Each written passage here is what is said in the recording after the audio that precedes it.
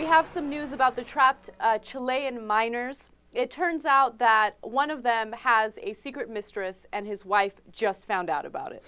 No, no, but it's better than that. It they, is- They it- found They, they found out at a candlelight vigil for the miners. I know. And they're Well- like, okay, so who are you praying for? Eduardo? What do you mean Eduardo's my husband? Right? And by the way, I made up the name. But but then they and then it's on, and then we got a cat fight above the mine, a disaster all over again.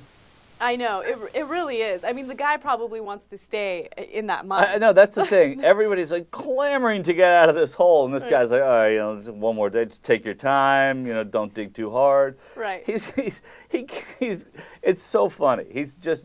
It's brutal for him to go home now, and he's in a mine 40 miles below the surface. I know. His name is Yonni Barrios, and uh, as Cenk said, his wife and the mistress met each other at this candlelight vigil.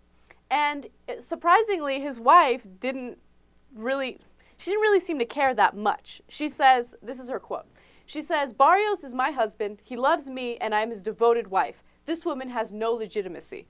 And then his mistress comes around and says, No, we're in love. I'll wait for him.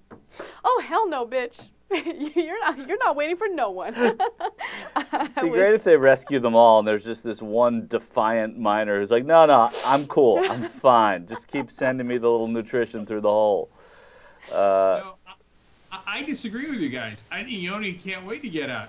He's got two women up there that he can have sex with, not just one.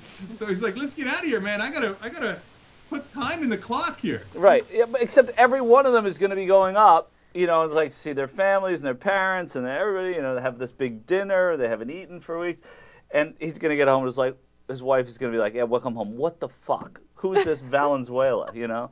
Uh, I think it's it's going to be tough on Mr. Barrios.